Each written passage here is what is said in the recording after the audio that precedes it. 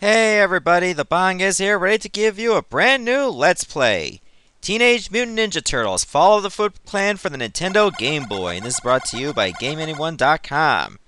Now, of course, this is one of many 2013 Christmas special games that were chosen, and just since I decided to be really good with you guys, I did all gonna do all three TMNT Game Boy Trilogy games, because they're all pretty short. The thing that's unique about this game is you can actually select whatever stage you want. I don't know if it's the same as the regular cartridge, but you can actually change the controls. I prefer A to jump and B to attack because anything opposite that is just plain weird. Now, which turtle am I going to choose as first? Because you get to play as all four of them. So I'm going to play as Raphael first. Now remember, like, B is attack, and these Foot Clan members die in one hit, which is pretty good jump with A, of course. And if you're holding down and attacking, you get to use a Ninja Star instead. And you do have an unlimited amount of them, by the way. However, you can't really just fire the Ninja Stars while you're actually holding down and then hitting the jump button. So you come across these enemies as well, you can actually cut them off with a jump kick if you want to. Yeah, you die now. You too. It, that was bad. you can actually fire your ninja stars right behind the barrels as well. So that makes it so easy to dispatch enemies. I think this stage only this game only has like five stages, because that's what you saw there in the stage select. Which popped up on default, by the way. I did not enter any codes to get the stage select. So I jump in the clouds and all of a sudden I'm in the sewer. Seems legit, Turtles. Luckily the water does not hurt you, because you're used to the sewers. Apparently the Mousers in this game are actually pretty huge.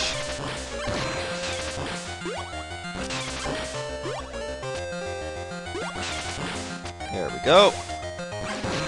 I always picture the Mouser as being a little bit smaller. And just biting at your uh, fingers and stuff. Just watch out for those balls there. And there's bats. Yep, you gotta kill those too, because I hate them. Ooh, I almost took damage as soon as I grabbed the pizza. I think my Ninja Star went right through the bat.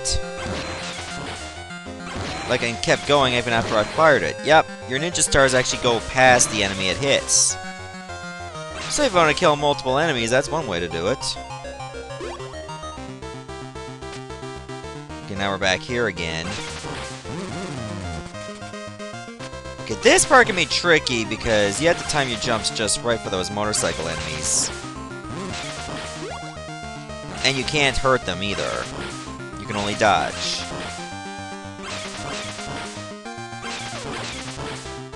This is not a long stage, but you often get slowed down by constantly having to defend your flank at all times. No sense for me to grab that pizza if I'm already at full health, and I was! Like, you have to switch sides fast. Seriously. You have to switch more sides than the flakiest politician, let me tell ya.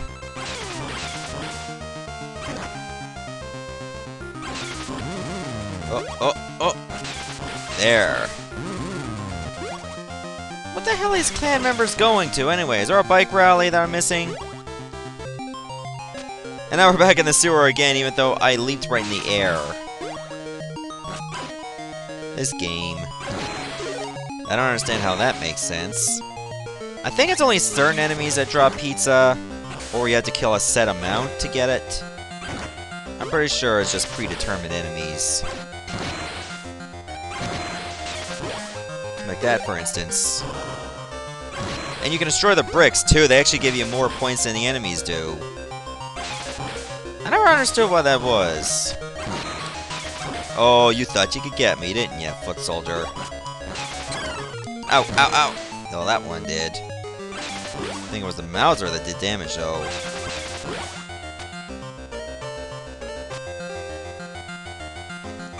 There, get them on both sides, or on the same side. It's a lot easier to attack them. Every time they jump, they have to have their arms in the air like they just don't care. No reason to care, you're gonna die in a few seconds anyway. Or less than that, depending on where you're to. Oh yeah, you can go right, but you can't go back left.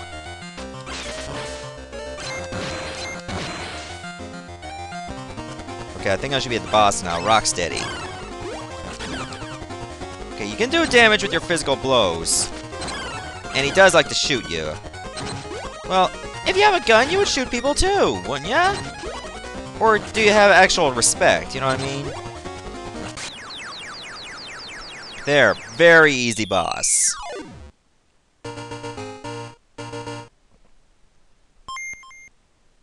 Thousand points? And extra points for how much health you have. The enemy must be near! April is screaming!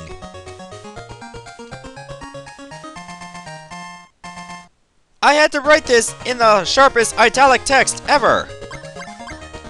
Ah, sure, I'll play as Donatello. Okay, I, I don't know if his range is any better, though. It could be pretty much the same. Now be careful here, because sometimes these pillars, they go up or down, depending on where they're to, could crush you. When you get crushed, you take a substantial amount of damage. If not, die. So, don't take your chances with them.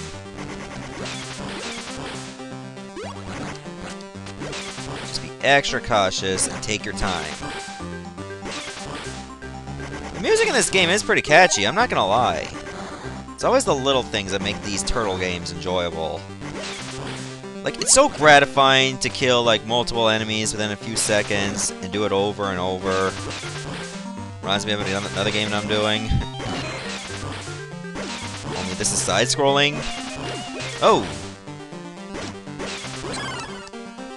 Okay, that was bad. I deserve that hit. Did not manage my flank carefully. I think in real life, I only played the uh, second Game Boy game. I'm not 100% sure about this one.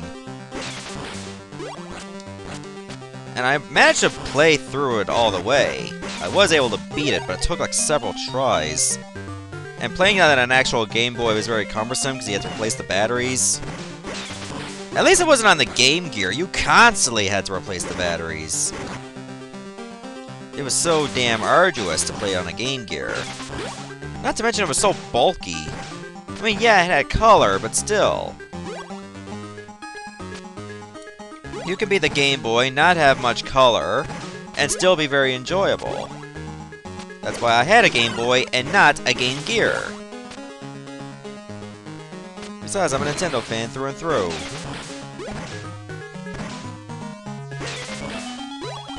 There, you die now. Okay, I just got Mario'd. Okay, I think I should play it cool. And why are there flame demons here?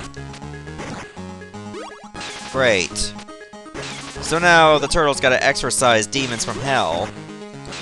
Floating pizza boxes that have whole pizzas, by the way. Yeah, nothing could go wrong if you eat floating pizza. It's not gonna have any side effects. And apparently your bow staff made out of wood can destroy demons without catching fire. I did not know there was a pit there. And I didn't even know where the next platform was, so that was a blind jump. And you can't just hold down to like a look down or anything. That's not in this game. There's only a Game Boy game. They didn't really take the uh, gamer's opinion to heart. They just kept it as simple as it gets. But that's not a bad thing. Just keep it as simple as it is. Back when games were really challenging. Nowadays, they just hold your hand too much. Oh, hey Bebop, what's up? Okay, he's got sonic booms. Every time you hit him, he just flinches. Okay, one more hit should get him. One more hit should get me! Oh, that was so close. I almost had to do the Konami code to get back full energy.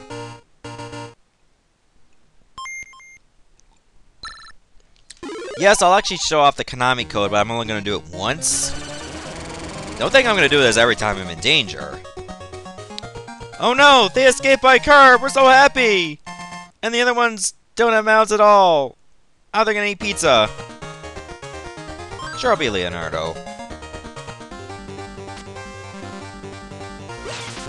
Oh yeah, this is pretty safe.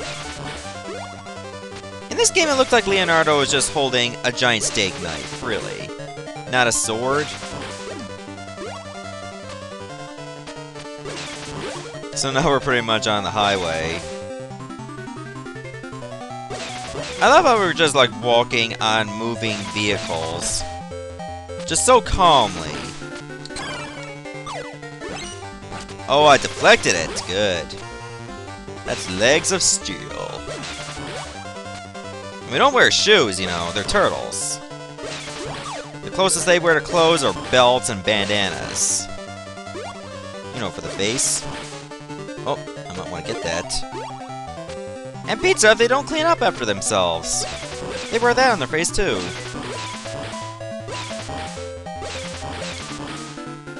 I don't even see how they still manage to keep so fit if all they eat is pizza. I mean, you can have pizza for breakfast and it'll be have enough energy to start your day depending on what you put on it. Have a veggie pizza or anything Hawaiian, you have a good, a good start to your energetic meal. If you're having bacon and pepperoni and sausage and you're just gonna be bogged down. I mean, pizza is good. You can have eggs on it if you wanted. Have eggs, maybe a little bit of bacon, put some croutons on it, like toast, things like that. Get a nice bit of a crunch. Okay, Baxter Stockman. He's actually a pretty easy boss, too. Remember when you hit an enemy, you can actually go right through their bodies whenever they're flashing? So I pretty much don't even need to jump except for dodging that shot. So I can just keep repeating this ad infinitum and I'll win. Just take advantage of the boss's invincibility frames and you're gonna win. Because they won't hurt you if they do. There! Just like that!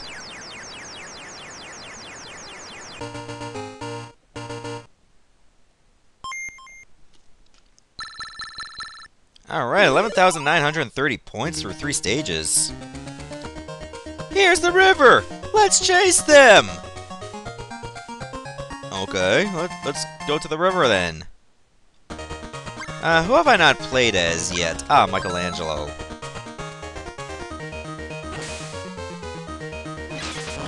Okay, the water level that has no water physics. Oh, shit, I should have just stayed on the log. Who the hell is littering anyway? Stop throwing random bowling balls in the river. Store them in the closet. These must be disgruntled wives throwing their husbands' bowling balls away so they can spend more time with them. Not only do they... And they're just dumb enough to realize that if you do that, the husband's probably going to come home and kill them and the kids and then themselves. Broken families, everyone! All over bowling balls in the river. With man-eating piranhas and Foot Clan that, for some reason, can move around just fine. You don't have to worry about oxygen or anything, or your pizza getting wet. Apparently, you can eat pizza underwater. Your jumping has not changed at all when you're underwater, so there's no underwater physics. Even though the game likes to play that you're underwater by giving you those little air bubbles around your mouth. Okay, I've taken a nice bit of damage here. I don't like that. The enemies are just so constant. As, as well as the balls, and then you got the boulders, and then you got the fish. And then the slopes are constantly changing. That doesn't help either.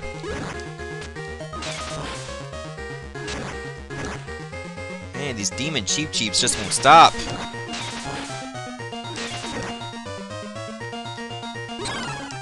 I wish this game had a better tell as to what enemies actually have the pizza. Like to give them a different color or make them flash. Then I would clearly have a good, better, ah, jeez. Have a better understanding as to what enemies I need to kill to survive. And now I'm in a cave. I don't know what that floating thing is supposed to be. Does it shoot me or does it try to collide? Oh, that Mouser actually saved my life. I forgot you can't destroy those. What are these things supposed to be? Like giant rocks? They don't even look like rocks. They look like vinyl discs. Discs? Did I say vinyl discs? Because that's not what I meant to say at all. Can I get pizza on this? No. It's not like Castlevania. Even though Konami had some involvement in this game, too. You think they should have put, like, pizza inside rock? It's not like they haven't done it before in other games. Well, not pizza, but other meats that have protein. Well, all meats have protein. Name one meat that doesn't. You wouldn't be able to. Maybe fake meat.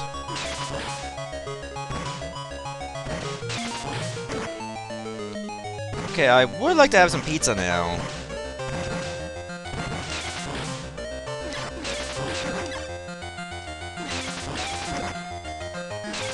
Seriously? I've killed so many enemies and they haven't dropped anything. Do I have to wait for another Mouser to pop up from the ground? I think the next boss is Shredder. Oh, good. You just saved my life.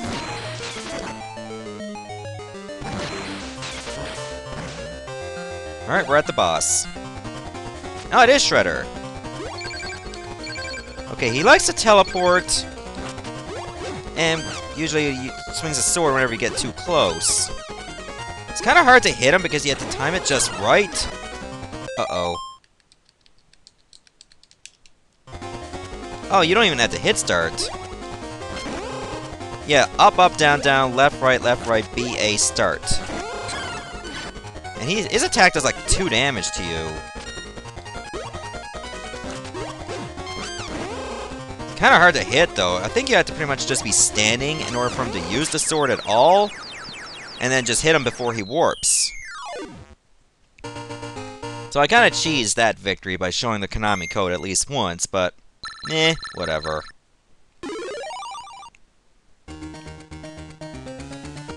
Let's hurry! Here is the Technodrome! That text is kinda hard to read. Um, I might as well be Leonardo. He is the leader. We made it to the Technodrome, everybody. I might actually finish this Let's Play in a single video. Ah, damn Roadkill Rodneys. They take like two hits to destroy. Ah, damn electricity.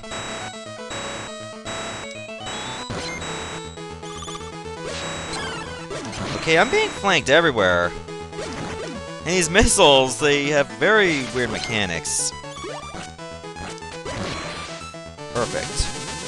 I think I can watch, walk right past all that. But I'm just worried about enemies distracting me.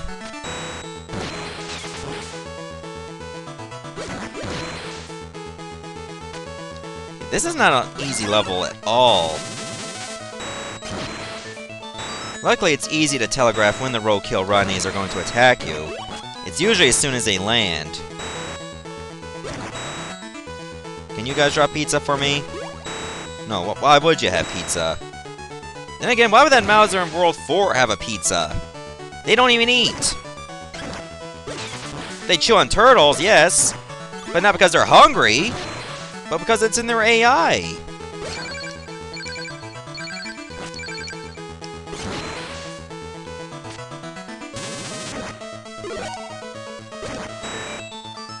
Now these things are on the ground.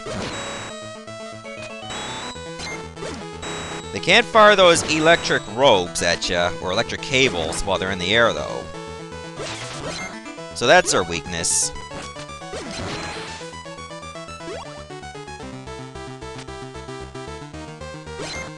Okay, we should be close to the boss. I don't know who the boss is. Is Shredder or Krang? Well, it had to be Super Shredder, because we already beat the regular Shredder. Oh, jeez. You can't destroy those. You have to jump over them.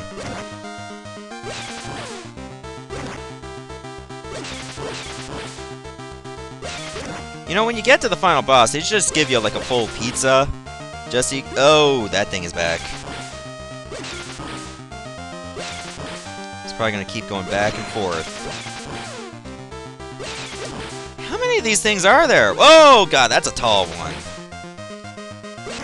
Had to use a jump pretty quickly for that.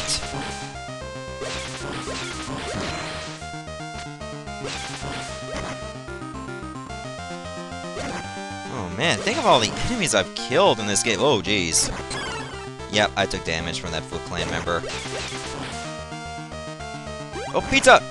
Ah, uh, it's only a slice. First world problems. Wanted a pizza! Gets a slice. Or more like a, wants a pepperoni pizza, salami! That's a real first world problem right there. They're cured meats, okay? Learn to deal.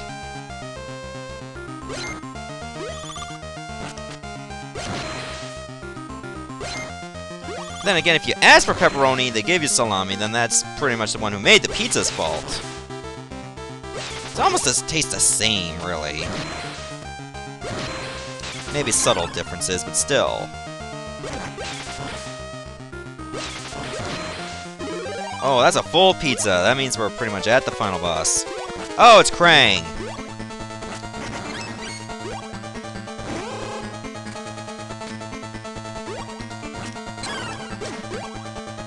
Okay, whenever it stops, it likes to kick you. Well, that's an easy attack to dodge! Well, maybe the jump and kick, not so much. But it's so easy to telegraph when it's gonna do it! Oh look, I win! This can't be it. This cannot be it. Like when he goes to the edge of the screen, he's gonna do a jump kick. You have to be on the other side to dodge him. I'm pretty sure he's not trying to untie the rope. We are here to save April. You saved me! Thank you, Turtles! You know, you don't have to grow my boobs to untie the ropes. You can just do it from the back. Look, we win. That boss was way too easy. So yep, that's it. That's Teenage Mutant Ninja Turtles Fall of the Foot Clan for the Nintendo Game Boy. Freak the Foots, Mangle the Mousers, and Total the Technodrome. That's... Turtle Power! Exclamation point, exclamation point. But... What about the Shredder and Krang? What about them? You beat them to a few seconds. Turn to toast? Vaporize to milkshake? Or vaporize to vapor would have made more sense. Or escape to Dimension X. Until we know none of us can sleep safely in our beds. Er, shells. That sounded like a lame pun. But yep, we managed to defeat Teenage Mutant Ninja Turtles Fall of the Foot Clan in one video. Without losing a single turtle. Can you believe that? Now you see why I picked all three games for my Christmas special rather than just one. Because it would have been disappointing to have it all end right there.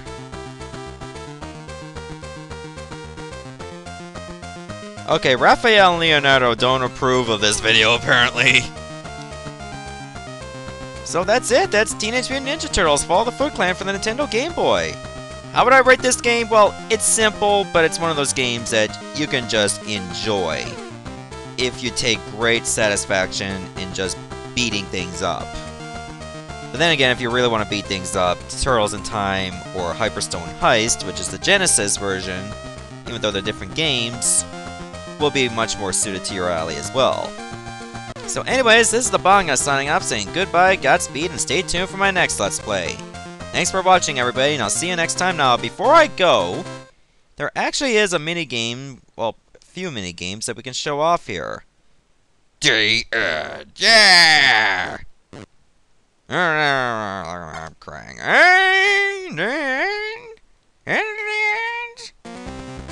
Top score 21,910. Okay, so basically what you do here, you hold B, A, and select. And you go to here. So, you got some bonus games to play, so why don't I show them off? 10 chances to find secret no secret no? Uh is it 69? Let's find out. Sure? Smaller. Oh, it's smaller than 69. 45? Okay, let's try... 2. Oh, wait, it's smaller than the secret number. I'm, I'm going the opposite. 500! Oh, it's bigger than 500. Uh, seven, seven. Okay, so somewhere between 500 and 777. 650. Gets bigger than that. 550? No, 572. Okay, bigger than that. Alright. Okay, uh, let's try 525. Up oh, somewhere between 572 and 525. 541? Oh dear, I, I don't think I'm gonna make it. Last chance. 555. You lost! And they don't even tell you what the number was. Oh, you had to do this at each time, apparently. Alright, let's try number two. Power up. Leave one remaining. Uh, okay. Hmm. Okay, I, I see what this is. You had to remove so many ninja stars at a time. Leave one remaining? Well, that seems simple enough.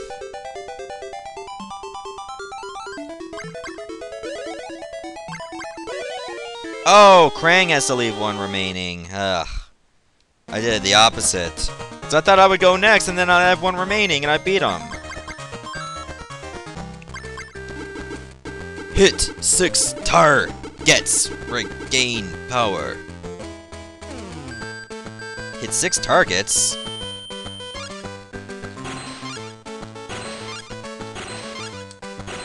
Well, this one is easy.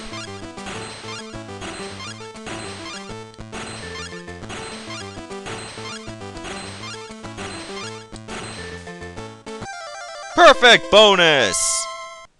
Finally, one I did great at! Were you supposed to find these bonus games in the levels? Because I never found them. But anyways, that's all I need to show you about this game. Thanks for watching, everybody, and I'll see you next time.